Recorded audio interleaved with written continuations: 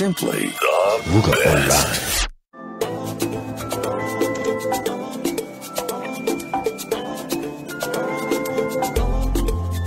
Welcome, welcome, welcome to another smashing, another informative, another fun filled episode of Picky and Shackled. The name is Makau Katide. Uh, and as always, I have supernatural guests. One thing I love about the show is the people that we bring here are superheroes in real life. And today we have none other than the disruptor herself, Nicky Verd. How are you, Nicky? Hi, I'm good, and you? Thanks for having me. oh no, no, I'm good, man. So today's topic is disrupt yourself or disrupted, same title. And yeah, man, I, I, a lot of people don't know what this disruption is. So a few years ago, let me tell you a quick story. A few years ago, I was privy to a lot of what's happening in the country. Before the four IR uh, discussions were in the public domain, so we started having those discussions. And I met a guy, friend of mine. Um, so uh, this guy said to me, uh, "Let's do that." So this guy said to me, Makawe, listen here. There's a very popular company in the country that is going to have a a bank of their own, and it's a health uh, company. I said Discovery. He said yes. So Discovery was going to disrupt the banking. So that is as far as I know what disruption is. Please mm. enlighten us more because you know more. What when we talk of disruption, whether it's personal, whether it's co- economic, what are we talking about? Oh wow, that is interesting.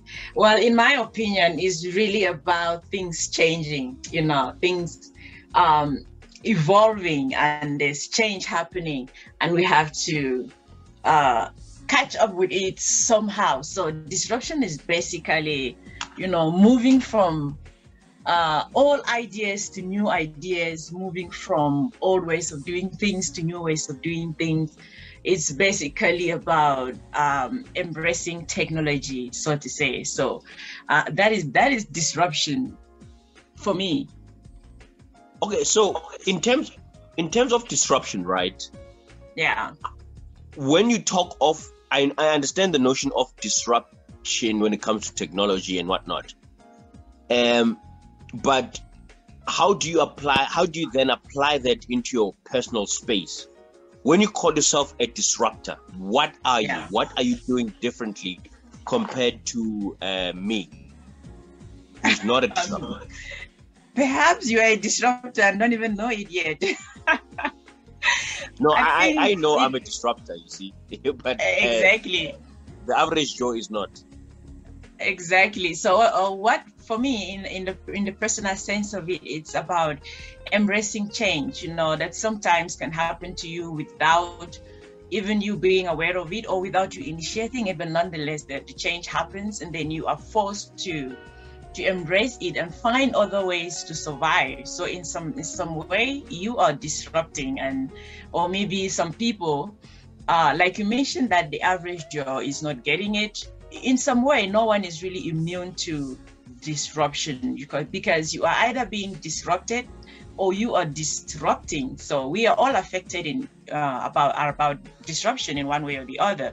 So for me, it is really about looking for new ways to adopt, new ways to stay relevant, new ways to do things that I would otherwise not have thought of it if the world was not changing. So that is disruption for me as an individual.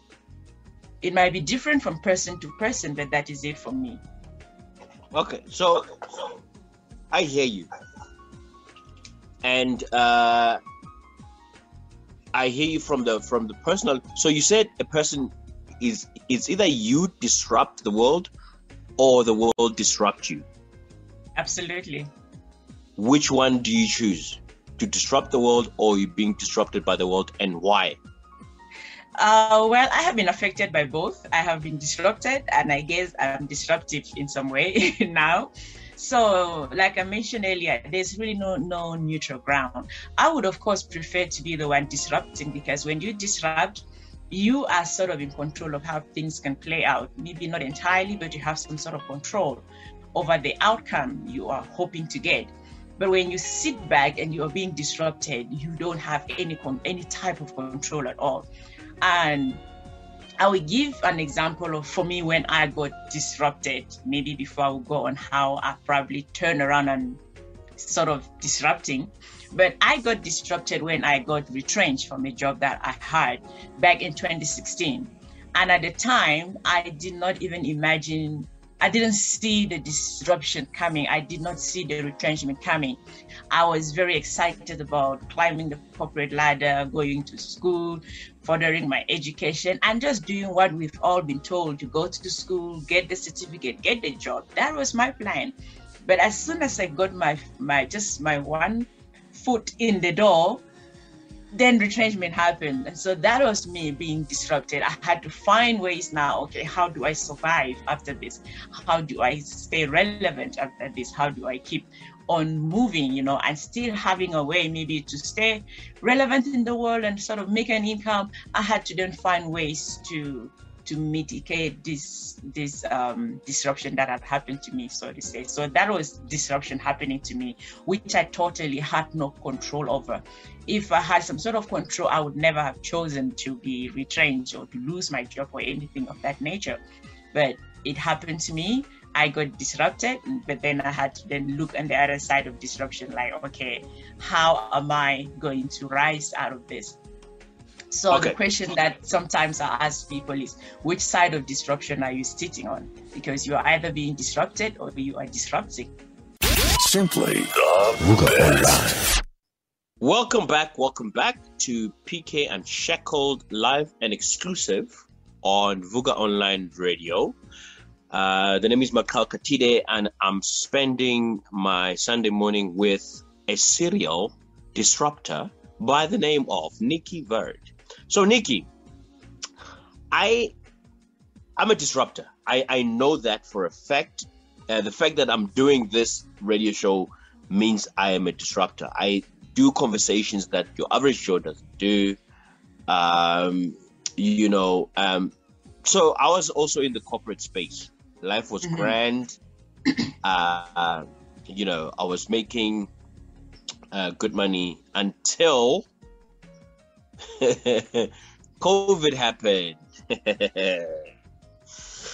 so, in my uh, sh- whole entire life, right, I have never not been in, in control. Whether whether it was uh, you know going through a divorce, starting business, I've always been in control of everything. But mm. COVID happened, and I was not in control for the first time. Mm. You understand? Um, and it, it it it brought back the conversations that I had with with uh, you know uh, this friend of mine uh, who, who were talking about discovery. Now the same guy said if Jesus was uh, alive now, he'd be the biggest disruptor. As a matter of fact, he said Jesus would be would, would be such a disruptor that he would not have a physical church. He would have a WhatsApp church with a million members. You understand? Right, right. Mm-hmm. Yeah, yeah. So I had it, you know, I had chat with him, and he said, Makawe, uh, you know, think innovation, think uh, mm. something that will leave, leave, leave a legacy of your name uh, without without putting maximum effort.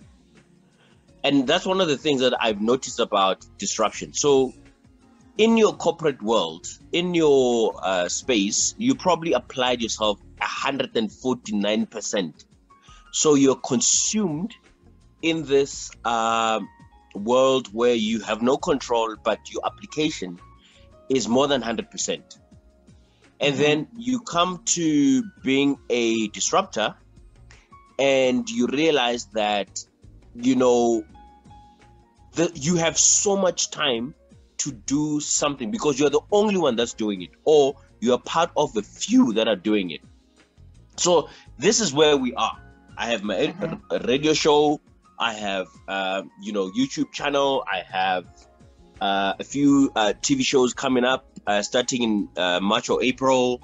So, from being a corporate guy wearing a tie, I've mm. I've done a 360. You understand? Yeah. Now, let me ask you this, Nicky. Being a, being a disruptor, does it rely on your confidence or you just don't want to lose? Um, that is an interesting question. Okay, I would I would say this. I remember having a conversation with um, with a friend uh, not so long ago, and he's thinking of quitting his job, right? Which is what you're saying. You COVID happened, but for him, he's thinking of quitting his job and doing something that he is in control of, and yeah. but he's afraid. Of, okay, and he's a very educated um, guy, and I remember telling him that you know what, you have like he's got a master's master's degree, I think something like that, and he's been to different places. He's done amazing things within the corporate world. I'm like, look you have things that I wish I did, you know, even when I was still in the corporate world. But there's one thing that you seem to be lacking, which I which I kind of have it, and it's called audacity. And then he started laughing, which is courage, right? The ability to have courage to face the world on your own. I'm like, you know what? I don't have the certificate. I don't. I'm not an academician by any stretch of imagination. Even in the corporate world that I was, I, I worked in admin. I wasn't doing anything fancy, so I was literally still finding my way around.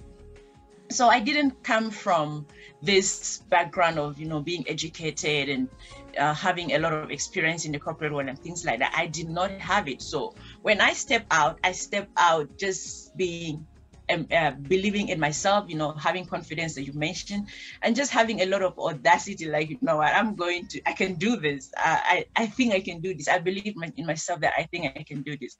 If someone had told me five years ago that I could write a book, I would literally laugh in their face. I'm like, come on, like, who, who? Like you said, who?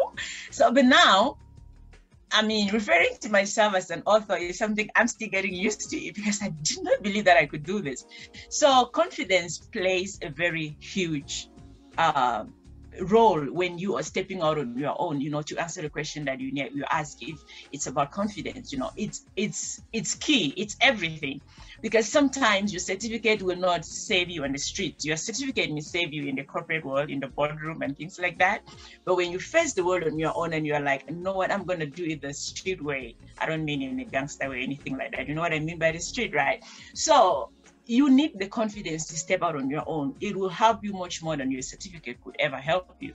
And so, yes, confidence is really very important. You have to have a lot of audacity, you have to have a lot of daring inside of you to be able to step out on your own. Remember, there's no one here holding you, there's no um, paycheck coming in at the end of the month when you're on your own, you don't know when the next gig will happen. You don't know when you have the next thing that will pay.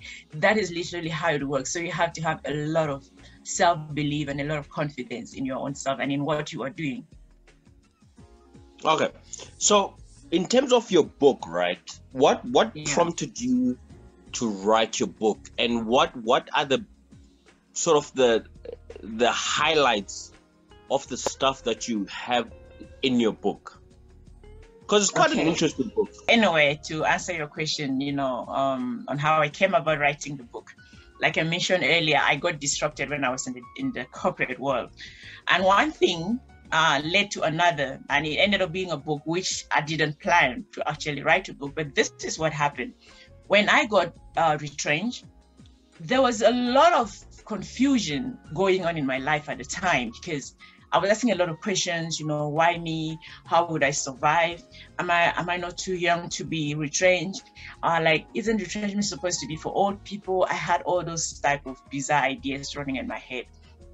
But one thing kept that stood out at the time was that every time I would turn on the TV or on the news, I would hear about retrenchment, which was a particular piece of news that I've never been paying attention to. But now that I have been retrenched, it kept jumping on me over and over. And so I was like, oh, so I'm not the only one facing this. Apparently, a lot of organizations are, are letting people go. So it was like, you know, when you buy a car, and then suddenly you start seeing that particular make of car everywhere. So that was what was happening to me. I was like, okay, this whole thing about retrenchment is becoming too much. So I throw myself on the internet, like just Google, like what causes retrenchment? Um, how do organizations stay afloat when they retrenched so many people? Those were the questions I went on Google and started researching on, and it just led me down this rabbit hole where I was like, oh wow, okay, there's a whole lot going on here. And so for the first time, I started realizing that there are machines replacing people at work. You know, the whole automation and um, artificial intelligence, uh, technologies being brought about by the fourth industrial revolution. I started for the first time coming across these concepts, which I did not know back then because remember, I'm not from a technology background and so I was I was fascinated. I was like, oh wow. So machines can replace humans at work. This is quite interesting and this is quite fascinating. So I just became more and more fascinated with what I was finding on, on online on the internet. And I was I started writing about it on my social media, on my Facebook. I was very active on Facebook at the time so I started writing about it on social media, and I realized that a lot of people were just as fascinated as I was, and many people were intrigued about the things I was writing. And a lot of people were asking me questions as, as though I was some sort of expert in, in relation to new technologies, changing work and life. Meanwhile, I was like really clueless. So it kind of gave me some hope that, oh, okay, I guess I'm not the only clueless one here. But nonetheless, I'm putting these things online and it came to a point where I realized that people are really intrigued with this. A lot of people are fascinated with it. Maybe I can start blogging about it. After all, I had a lot of time in my hands, so I could write. So I started a blog and I would then write articles about it, uh, basically, and then share them on my social media. And then one thing led to another. I remember at one point I started thinking, okay, I think someone should write a book about this because apparently people want this knowledge. A lot of people seem to be hungry for this type of knowledge and how they can prepare themselves for for the world that technology is drastically changing. But when the thought of writing the book came, I immediately denied. I was like, no, it cannot be me. I cannot write. I was like, I think you have to be like really smart to write a book. You know, I had always respected authors, you know, like, I mean, how do you pour so many words out of you? So I like, no, definitely not me. I thought like I couldn't speak proper English. I felt like my English was too broken, you know, to write a book. I came up with all sort of excuses. I don't have a degree. I cannot write a book. But nonetheless, I kept writing the articles I was writing on my blog, right? But it, a time came where it felt like and when an idea takes hold of you and you don't do it, you become miserable. So I realized that if I don't do this whole book thing, I'm probably going to just become miserable for the rest of my life. But nonetheless, there was some fulfillment I found from writing those articles on my blog. Uh, it gave me a lot of life. You know, when I lost my job, it felt like I lost a huge part of me. But when I started writing these things on social media, and and I started a blog, there was a new life that came inside of me. And I felt like, okay, I think if I feel this happy, if that's even the word that I felt, fulfilled, I think that's the word. If I'm feeling this fulfilled doing this, probably I can write a book. So it evolved from those social media posts, from my blog articles, basically into a book. You know, I never sat down one day and planned and said, okay, I'm going to write a book. No, this whole thing happened by default. And so that's really literally how I came about writing the book. You know, some of my friends today, they will still be like surprised, like, ah, Nicky, I can't believe you wrote a book. I'm like, listen, I'm more surprised than all of you that I wrote a book. so literally that is how the book came about. And I thought wow. to myself, what better title to than to you know, I came, up, there were so many titles though, but I thought at the end of the day, what better title than disrupt yourself or be disrupted? Because here I was at work, minding my business, and someone disrupted my life. So it is either you are disrupting or someone will disrupt you. So it was basically based on my experience and what I'd gone through. I decided, okay, this title would perfectly fit. And the main highlights of the book, as the other question that you asked, would be about, you know, people should start getting themselves comfortable in having uncomfortable conversations about their future, about work and how technology is changing the world and how technology is changing life for example, a student who is currently in school right now. Pause, yourself, pause, pause, pause, pause, pause, pause, Okay. Pause. You're, you're going into my other question now. Let's take a quick break, and then after the break, we're gonna talk automation because central to uh, the 4IR is automation and you know the human us humans or us south africans i'm not going to talk for people outside the country we're not we're not ready for that so after the break we talk automation simply Vuka Online. You're listening to Vuka Online. You are rocking with the best. You were saying you were talking about the highlights of your book, and you're about to talk about uh, give an example of a student. But I wanted to, and, I, and I'm sure this will lead to my question. So, key or central to the fourth industrial ev- uh, revolution, whether we like it or not, uh, there's a large part of automation, mm-hmm. right? Uh, what is automation, according to your understanding, and how how does it impact us on a daily basis? Oh, wow, that's an interesting question. Um, automation is basically the when processes that used to be done by humans are now being um, done by machines. You know, where we've seen automation happen in nearly every every industry.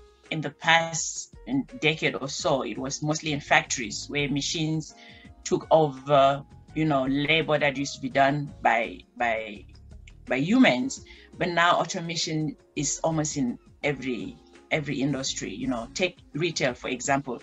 Uh, maybe it's not so rampant in South Africa, but some retail outlets in the Western world are entirely being run by robots. You know, maybe not robots, so to say, but by automated systems.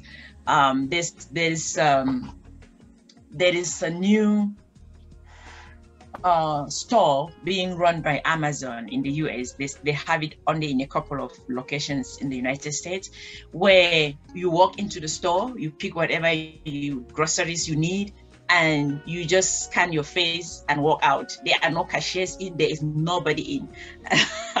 so that yep. is that is automation to the 10th degree, so to say, because there are no cashiers in at all. And there are also some restaurants that are being run by robots. And COVID 19 facilitated this whole automation also, you know, to another level because now with people worrying about uh, you know the safe their safety and always having to sanitize and always having to socially distance themselves some some restaurants have now employed robots much more than they would have if covid did not happen so these are things that are already very rampant in in the in the Western world.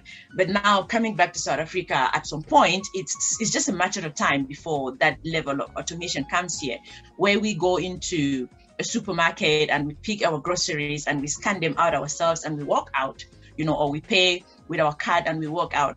Just a minor example for what is happening now. There used to be a time where you walk into a supermarket and you pick your groceries, you go to the cashier, they, they, they, they, scan everything, and you hand your bank card to the cashier. But now we no longer hand our bank cards to the cashier. We put our card by ourselves, we put our PIN, and that is some level of the industry training us to do these things on our own. You know, when we graduate from this step and we're very comfortable to put our cards and pay, it will be the next thing will be you, you scan your thing by yourself. That is where i see this going right, right? That's my personal opinion. That is where i see it going. At some point we'll be the ones scanning our things and paying. There's a mcdonald's outlet right here in south africa where you go yeah. you don't you you you you order your food via an automated kiosk system where you punch and you choose what you want and you pay. You just go to the till to collect your food So that is automation really happening. I mean, a lot of us are seeing it, but we don't yet know what name to put into it. But re- literally, that is automation. I wonder what COSATU is saying about this. Uh, and uh, uh, yeah, because I, I, as I believe, um, South Africa is one of the the world's most unionized um, countries, and I, I, seriously wonder what uh, and the other uh, uh, federal union is saying. Uh, but yeah, so this is my question, right? Yeah. Central to automation is artificial intelligence. Mm-hmm. And artificial intelligence um, doesn't necessarily take into consideration that there's something called God. no. Are you not worried? Are you a religious person, Nicky? Yes, non. I wouldn't say religious. I'm a very spiritual person, and I believe in God. But religious is not the way I would describe myself. yes. So my question is now we talk of us being disruptors and coming up with all these automation systems, uh, which are infused with thousands of neuron activity that's related to artificial intelligence. Uh, and then um, it gets to a point where, you know, AI rules our lives more than the notion of a God ruling our lives. Mm-hmm. Have, has that ever crossed your mind? When it comes to AI, I don't think that there's anything that um, cannot be done. and I think that as humans, yeah, we should rightfully be be worried about AI because it's one of those technologies that it can even take over and, and do things by itself. So um, it can out um, you know move beyond what the human that created it wanted it to do. It can move beyond those type of processes and take over things and do it by itself. So that is where ai becomes scary and people should be rightfully worried. I think there's actually a documentary uh, by is it uh, around ai with the interview from elon musk talking about people should be worried about ai he's like, the last he's the last person to speak of ai He's of course, I know. into, into I monkeys' know. brains. I mean, I, I know the irony. yeah, Elon Musk must just uh, come back to South Africa and buy a, a, a farm in Pofadder and just live there.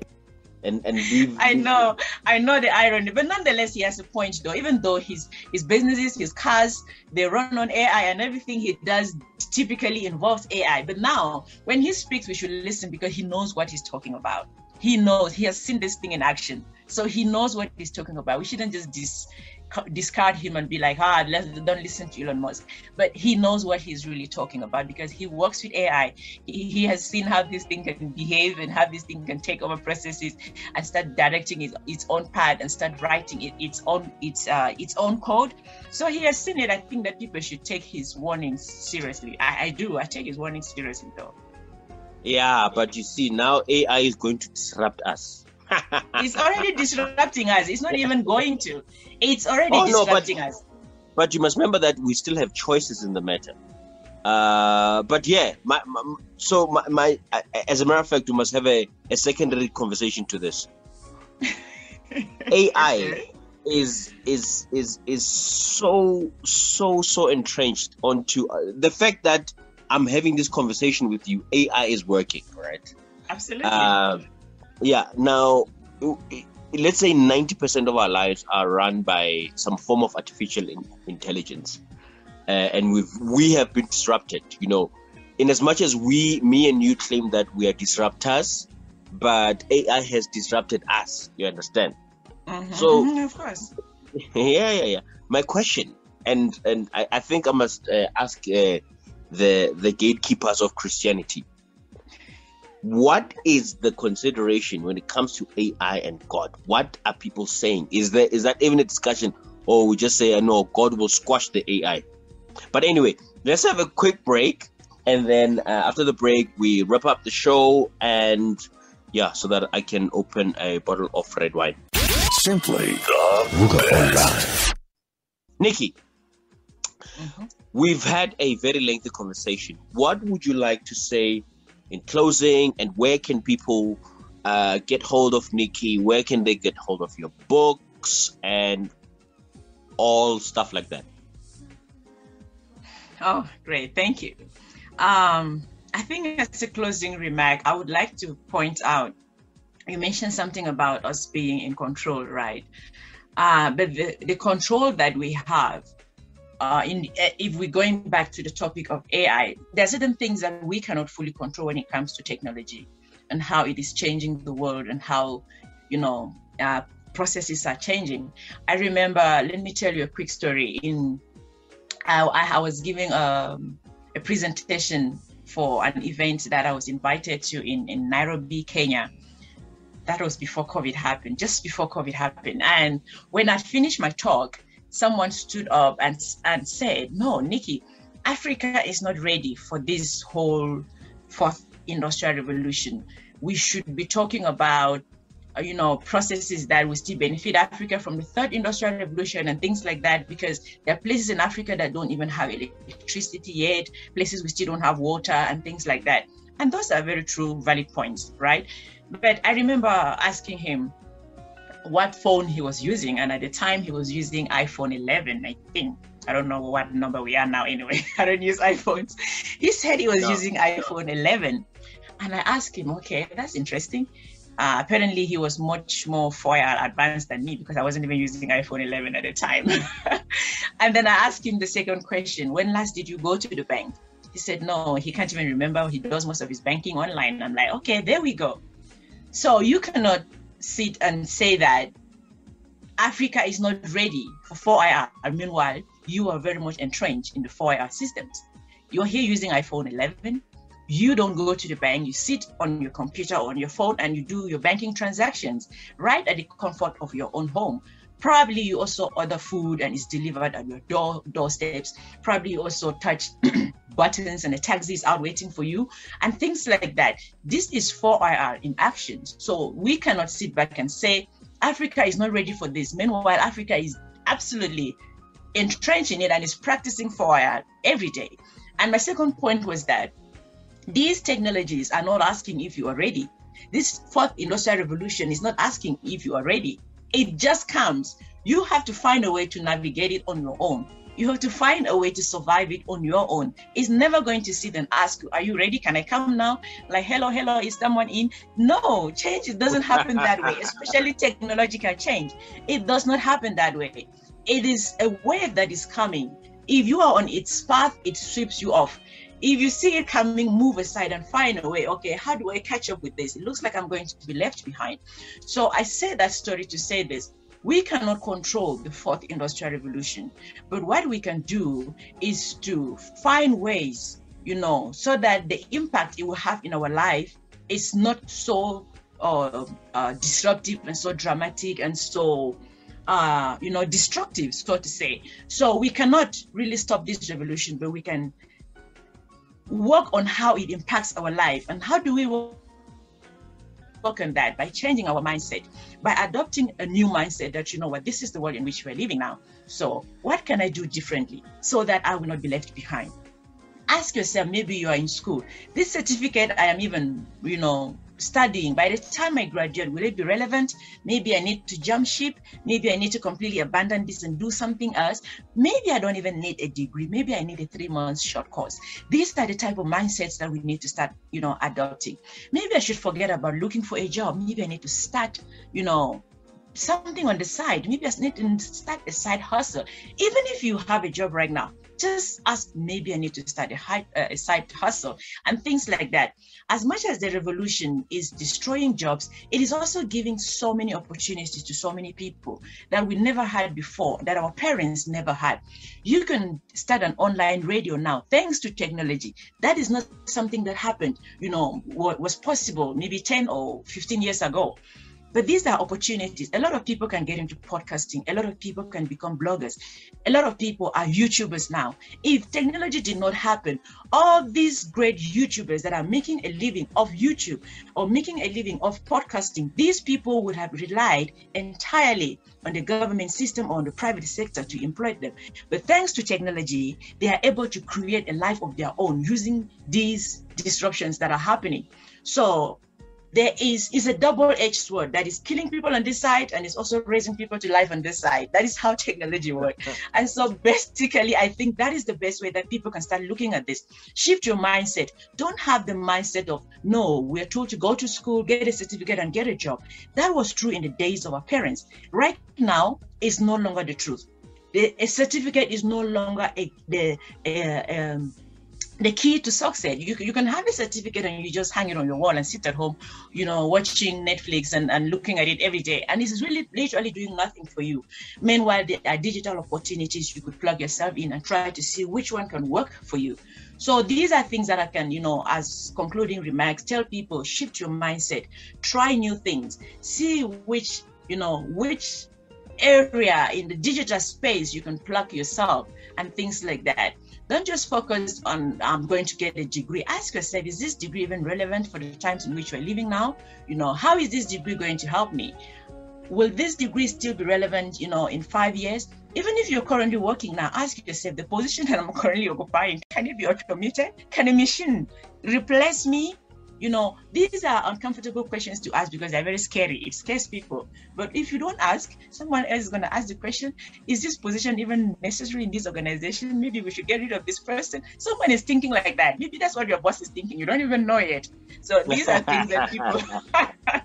these are things that people need to, you know, start asking themselves these questions. Because if you are not thinking and asking those questions, your boss or your organization is thinking and asking themselves these questions. How do we reduce our workforce? How do we take um, uh, adopt new technologies to cut down costs and increase our efficiencies and things like that. When the organizations are adopting these new technologies, some people will pay the price within that organization. You don't know if you're going to be the next. You have to think outside the box. Where do people find you? I am online and my name is on the same on every on on, on every platform. Nicky Verd. there are not two of us. Once Google Nicky Verd, I'm the only one that comes up. I love it. You know, I'm the only. No, I'm, I'm so easy to be found. I'm so easy to be found. Nicky Verd on all social medias. You'll find me there. There's some I'm not active. I'm more active on LinkedIn and and uh, Facebook, but I'm I'm I'm trying to find my feet on the streets of Instagram and Twitter and things like that. All right, all right.